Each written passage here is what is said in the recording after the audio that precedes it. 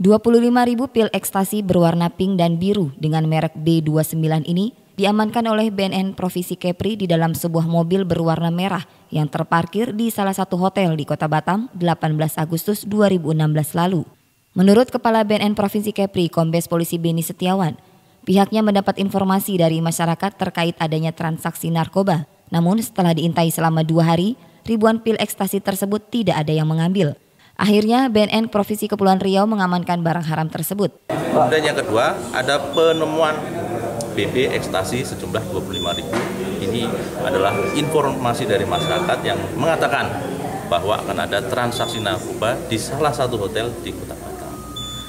Setelah kita selidiki, kita observasi dua hari dua malam tidak ada yang ambil. Oleh karena itu kita amankan di BNNP. Beni mengatakan saat ini pihaknya masih terus melakukan penyelidikan untuk menemukan pemilik ribuan pil ekstasi tersebut.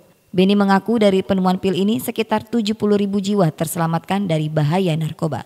Loreka Devi, Kilas 7 menginformasikan.